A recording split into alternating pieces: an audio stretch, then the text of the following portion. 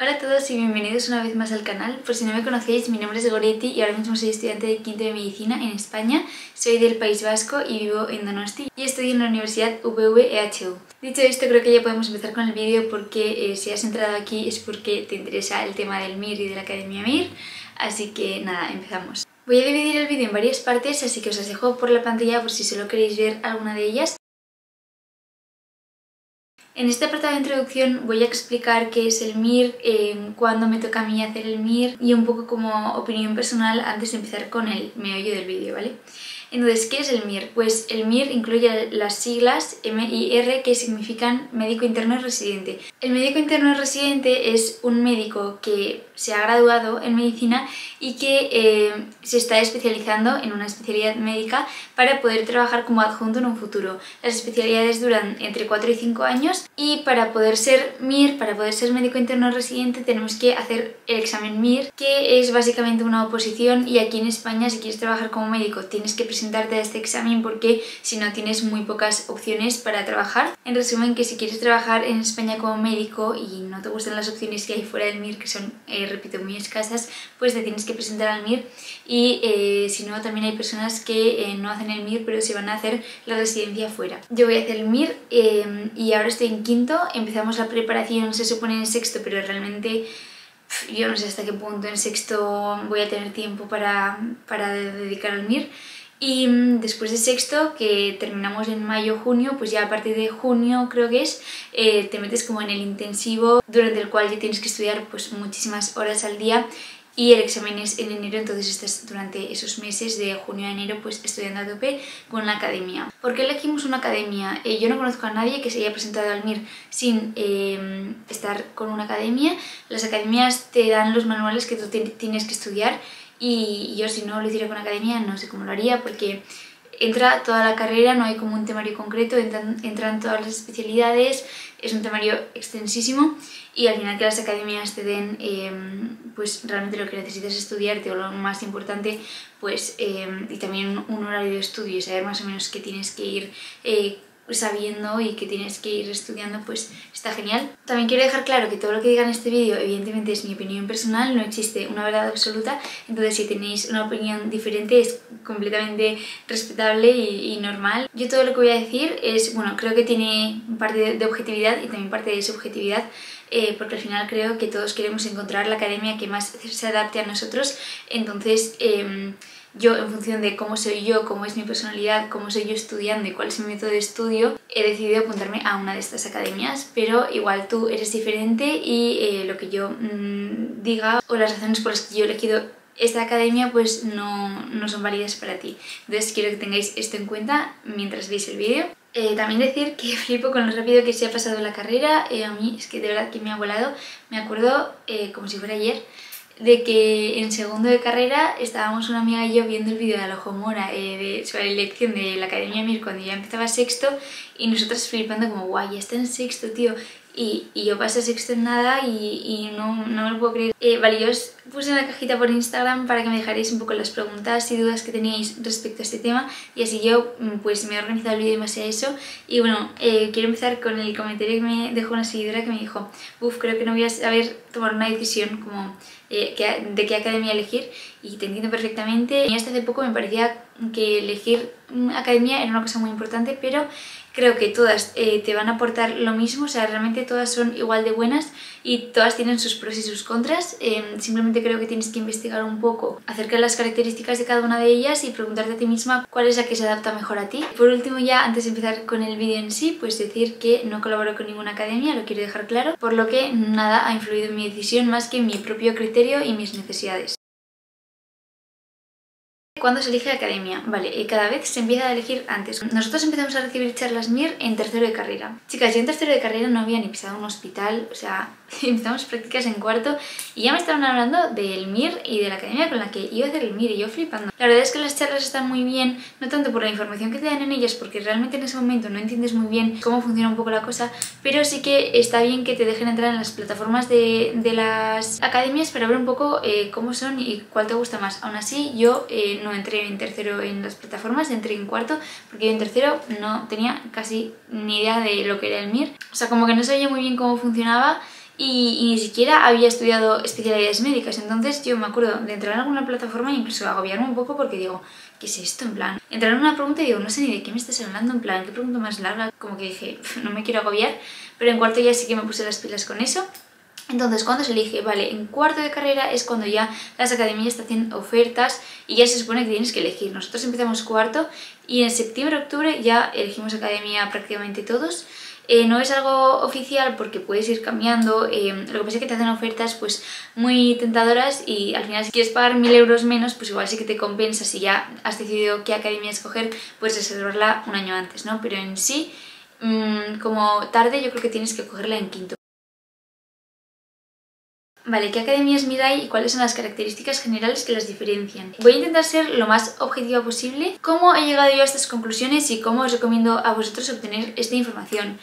Asistiendo a las charlas, también tened criterio mientras estéis en las charlas porque pensad que ellos os están vendiendo un producto y yo me conectaba a todas las charlas y pensaba como, guau, quiero esta academia, en esta academia me va a dar lo que yo quiero, que bien todo, que bien explica tal, pero ellos están intentando que compréis su producto, que os apuntéis a su academia, entonces eh, tened eso en cuenta y no valoréis tanto lo que os están contando, sino qué es la academia en sí, cómo funciona y cuál es su método. En España principalmente hay cuatro academias que son Mirasturias, Amir, CTO y Promir. Vale, yo Promir la descarté desde el principio porque todo el mundo la descarta, no conozco a nadie que se haya preparado el MIR exclusivamente con Promir. Por si no sabéis es una academia que es completamente online. Según yo sé, eh, suelen apuntarse a esta academia personas que igual pues tienen que trabajar durante la preparación porque no se pueden permitir solo dedicarse al estudio y al final al ser todo online pues igual como que te facilita más las cosas pero yo no quiero algo completamente online quiero poder estar de forma presencial de vez en cuando, quiero tener contacto con compañeros, quiero hacer los simulacros con gente a mi alrededor, entonces yo primero la descarte por esto, pero no sé si irá cogiendo fuerza con el tiempo. Y empezamos por el orden en el que las he mencionado. Bueno, voy a cambiar el orden porque la... voy a hablar eh, de ellas en el orden en el que las he conocido como con el tiempo, ¿vale? Mira Asturias. Mira Asturias hasta hace muy poco era la academia más prestigiosa, por lo menos es lo que a mí me han transmitido a lo largo de mis años de carrera y de antes, ¿vale? Es como la academia más conocida, eh, también te da la posibilidad de irte a Oviedo, de vivir esa experiencia MIR. Lo que más diferencia a Mirasturias del resto de academias es que con Mirasturias tienes clases presenciales diarias de creo que son tres horas, entonces tú de lunes a viernes pues vas a, a la academia eh, de Oviedo y estás ahí em, pues viendo la clase. El año pasado nos dijeron que iban a empezar a hacerlo también de forma online por si no nos queríamos ir a Asturias. Yo tengo ejemplos de manuales de las tres academias, así que también os los voy a enseñar por si no los tenéis en físico. Entonces, los manuales de Mira Asturias, bueno, este es el de cardiología. Eh, son los más extensos de, las tres academias. Os lo enseño un poco por dentro por si, pues, por si os gusta el formato para que lo veáis un poco. Eso, son los más extensos de las tres academias. Creo que es la academia en la que más presión te pueden meter, eh, digamos, como, no sé si los profesores, pero bueno, como la gente que lleva la academia. Y así a nivel general yo creo que tampoco tengo eh, nada más que decir. Pasamos a CTO. CTO es también una de las academias más conocidas empezó a coger bastante mm, fama pues hace unos años. Tanto en CTO como en AMIR las clases no son diarias, eh, dan clases una vez a la semana y tú puedes decidir hacerlo de forma presencial o online. Tú puedes estar en tu casa y el día en el que se dan las clases pues acudir a la sede de forma presencial o si te pilla lejos la sede o no te apetece ir pues lo puedes ver de forma online y esto también tienes que decidirlo cuando te apuntas al curso pero yo creo que lo puedes cambiar. Los manuales de CTO son como los intermedios entre Mir Asturias y Amir este sería el de cardiología de CTO, ya que tengo el mismo, pues eh, os lo enseño. Por dentro es así. La plataforma de CTO es muy completa, es algo que dice todo el mundo, tiene como muchas opciones interactivas y una cosa que creo que tiene CTO porque se escucha en Blanca es que en la vuelta número 3 o 4, o sea en la tercera o cuarta vuelta del MIR, tienes como un estudio personalizado para ti en función de tus necesidades, como si te ha dado mal algo pues eh, igual te lo hacen repetir más veces o te lo hacen estudiar más a ti que a otras personas. Y otra característica de CTO que suelen recalcar mucho también las personas que han estudiado con CTO es que eh, los simulacros de esta academia son bastante duros. Y por último, Amir. Amir tiene los manuales más finitos de las tres academias. Eh, dicen que son manuales más esquemáticos. Yo, a simple vista así de haber abierto los manuales, creo que los de Mirasturias son los más extensos y los menos esquemáticos. CTO creo que tiene un mix de las dos cosas, o sea, te pone el esquema y te da la explicación. Y Amir Es más esquemático que CTO. No tengo el manual de cardio, pero bueno, os enseño estos dos. A ver, cuando digo finito, se, o sea, depende mucho de la asignatura, ¿sabes? Yo os puedo enseñar este y diréis, bueno, es mucho más fino que CTO y que Mira Historias, pero luego os enseño este y pues es también bastante gordito, ¿vale? O sea, depende, depende de la asignatura, este es oftalmo y estas infecciosas. Os enseño también un poco por dentro para que lo veáis. Es como, no sé, más esquemático que obviamente también tiene texto. Y no sé, a mí la verdad es que los tres manuales me parece que están genial, o sea, realmente todos son muy parecidos y todos tienen el mismo contenido. Algunos tienen un poco más de información y otros menos, pero soy perfectamente consciente de que es imposible aprenderse todo para el MIR y son academias que se dedican a esto, o sea que obviamente los tres manuales seguro que están genial. Ahora voy a pasar a deciros los tips que yo os daría a la hora de elegir academia como la forma en la que yo he llegado a elegir academia. Y en el siguiente apartado os cuento eh, cuál ha sido mi caso personal, las razones por las que he elegido eh, mi academia y cuál es la academia que he elegido pero os lo quiero contar en partes diferentes porque creo que así mi opinión no os va a repercutir ni os va a interferir de, de ninguna manera. Así que bueno, vale, ¿cómo he elegido academia? Y consejos que os doy para hacerlo. Lo primero, os recomiendo preguntar, hablar... ¿A qué me refiero con esto?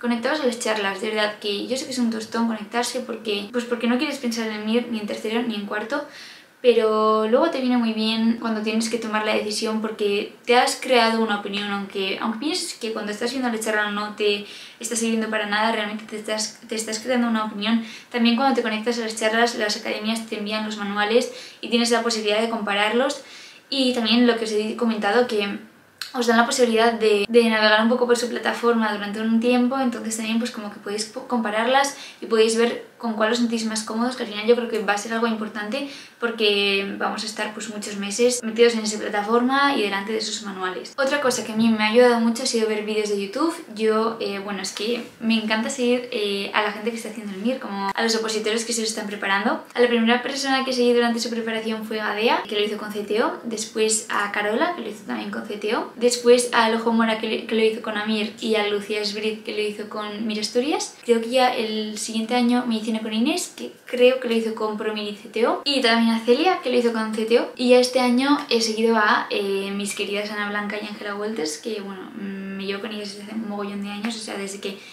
empezamos la carrera todas. Y Lucía Piñero, que ha hecho el MIR este año también, lo han hecho con CTO. Si sabéis de alguien que se vaya a preparar el MIR eh, este año para presentarse el, el, enero del año que viene, pues podéis dejármelo por los comentarios porque de verdad que yo soy súper fan de seguir a la gente durante esta etapa, pues porque me parece una etapa eh, bastante dura y al final que también haya gente que lo muestre por redes sociales pues me parece súper válido y que realmente como que nos puede ayudar a los que venimos por detrás. Así que nada, os recomiendo pues eso, buscar en YouTube eh, opiniones sobre las academias, eh, cómo he elegido academia y no solo el pre sino del post, ¿sabes? Como después del MIR si estoy o no contenta con la academia. Yo me vi todos los vídeos eh, que me encontré por YouTube me los ponía de fondo, eh, yo iba andando con la calle por un, con un video MIR de fondo. A mí eso también me ayudó bastante como a valorar pros y contras de gente que ya había hecho el MIR con esas academias. También os recomiendo eh, preguntar a personas cercanas, a personas que sepáis que hayan hecho el MIR. Yo es que eh, durante un periodo de mi vida tuve tantas dudas que hablé pues bueno a las personas como cercanas a mí que habían hecho el MIR o bueno, no sé si cercanas pero como amigos de amigos. Todos ellos súper majos pues me enviaban un mogollón de audios, pros y contras de cada academia ellos que pensaban, todos coincidían en una cosa que daba igual la academia que eligiera que al final el trabajo dependía de mí misma y que su academia no tenía eh, por qué ser la adecuada para mí, que al final yo tenía que ver eh, cuál encajaba más conmigo. Y eso es que es completamente cierto. Así que os lo repito para que lo tengáis vosotros en cuenta también, porque a mí es algo que me ayudó mucho. Y eh, cuando he estado rotando en el hospital de prácticas, pues cuando estaba con residentes, también les preguntaba, oye, ¿tú con qué academia hiciste el MIR? Y ellos pues me contaban su experiencia y la verdad que todo esto me ha ayudado mogollón. Otras cosas que me parecen muy importantes y que hay que tener en cuenta, los manuales y las plataformas. O sea, yo creo que cada uno tenemos un gusto eh, bastante especial con los apuntes porque al final pues llevamos eh, yo ahora mismo cuatro años y medio estudiando la carrera, eh, yo veo unos apuntes y hay unos apuntes que me parecen bonitos y otros que no me parecen como tan atractivos y cuando los apuntes no me parecen atractivos no me apetece estudiar. Entonces a mí un manual que me apetezca estudiar me parece muy importante. Vamos a estar muchísimo tiempo delante de todas estas páginas, entonces por lo menos que sean bonitos para nosotros. Me parece fundamental. Algo que creas que se te vaya a quedar más, por ejemplo, si tienes más memoria visual, pues igual prefieres a porque es más esquemático. Si eres una persona a la que le gusta estudiar de libros de texto, pues es que igual te viene mejor Mir Asturias. O si eres una persona a la que le gustan ambas cosas, ni tan esquemático ni tanto texto, pues igual prefieres más CTO. Las plataformas lo mismo, al final cada plataforma es diferente y tú te vas a sentir más cómoda en una que en otra. Otro tema fundamental, bueno, yo creo que es la primera pregunta que tienes que hacerte para descartar ya eh, la academia. O sea, si contestas a esta pregunta, descartas o dos academias o una academia. ¿Cómo quiero que me den las clases? Poneros en situación y pensad que vais a estar, pues eso, en vuestra casa estudiando de lunes a viernes y el sábado simulacro y domingo descanso. Vale, yo de lunes a viernes, ¿cómo quiero que sea mi rutina? ¿Quiero estar todo el día estudiando por mi cuenta, así toda la semana y ya el sábado voy a clases? o quiero estar estudiando durante el día y después ya ir a las clases? Yo creo que es como la pregunta más importante porque al final si quieres clases diarias directamente eliges Mir Asturias y si no quieres clases diarias pues directamente eliges OCTO o AMIR. Precio de cada academia, o sea, cada academia pues tiene un precio em, y tienes que ver un poco cuánto te quieres gastar, cuánto quieres invertir en el MIR. Tienes un poco que comparar precios, ver si te quieres ir fuera, que al final también supone un gasto plus. Cuando haces el MIR, no sé si lo sabéis, pero la mayoría de los estudiantes lo que hacen es contratar un servicio de cocina y limpieza para tú dedicarte 100% al estudio y los ratos en los que no estés estudiando poder descansar, entonces eso pues también supone un gasto, es un poco como el balance de todo, ¿no? Otra cosa que me parece no fundamental, como que no es lo que más peso tiene, pero sí me parece importante, ¿dónde van tus amigos? A mí obviamente no es lo que me hizo tomar la decisión, pero sí que te tira un poco porque al final, o sea, va a ser una experiencia muy dura y yo quiero poder apoyarme en mis amigos y quiero tener lo mismo para estudiar que mis amigos y quiero tener las mismas vacaciones. O sea, no quiero, por ejemplo, eh, imaginaos que yo tengo un grupo de estudio y esas personas cogen vacaciones la semana del 1 al 7 de agosto y yo cojo la siguiente. ¿Qué hago del 1 al 7 de agosto yo solo estudiando? ¿Sabes? Es como que prefiero estar con ellos haciendo todo. Entonces, bueno, en mi caso esto tampoco me ha influido mucho porque eh, tengo gente que se va a todas las academias, entonces no es lo que me ha hecho tirar por la academia que he elegido. Pero en otros casos, pues sí que te puede como... Em, dirigir más en esa dirección. Y por último, creo que tienes que mm, conocerte a ti mismo, tienes que preguntarte cuál es tu método de estudio, cómo te gusta estudiar y em, ver qué academia encaja más con tu método de estudio, no cómo encajar tu método de estudio en la academia, ¿sabes? Para elegir esa academia. Y vale, ya por último os voy a contar un poco mi caso personal, eh, cómo ha ido evolucionando mi opinión y por qué he elegido la academia que he elegido. Yo siempre he querido ir a Asturias porque desde que era pequeña es algo que he escuchado, como que es lo que se escuchaba en la calle, por eso os digo que creo que hasta hace unos años se consideraba la más prestigiosa porque todo el mundo iba a hacer el MIR eh, a Asturias. De hecho, la mayoría de nuestros profesores que son más mayores, pues eh, se fueron a, Oviedo a hacer el MIR. El tema de mm, estar como fuera de casa, en Oviedo durante ese tiempo, preparándote el MIR, estando con todo gente MIR, pues como que me atraía mucho y quería vivir la experiencia, entonces yo la verdad que lo tenía como súper claro desde el principio y pensaba que no me iba a costar nada tomar la decisión. Eh, por si no lo sabéis, yo eh, ahora mismo estoy en casa porque cuarto, quinto y sexto ya em, nos dividen como por hospitales y ya pues hay opción de hacerlo en casa, pero de primero y tercero tenemos que hacerlo en Bilbo, que para mí está como a hora y media, dos horas de casa, entonces pues tengo que, o sea, pues viví allí. Entonces eh, viví la experiencia de estar fuera de casa y la verdad es que me encantó, o sea, yo eh, me pasaba ahí mes y medio y luego ya volvía a casa un fin de, pero eh, tuve una racha, sobre todo en los exámenes del segundo cuatrimestre de segundo, en el que me volvía como constantemente a casa en la época de exámenes porque sentía que necesitaba como el apoyo de mi familia, desconectar con amigos que estuvieran estudiando cosas diferentes y ahí me empezó como a rayar un poco el tema del MIR. Como que digo, pues igual no tengo tan clara la decisión. Pero bueno, fue una decisión como que fui atrasando un poco y ya eh, volví a casa en cuarto y la verdad es que pues en casa genial. Y, y yo, bueno, pues tengo una relación muy, muy, muy estrecha con mi madre. Eh,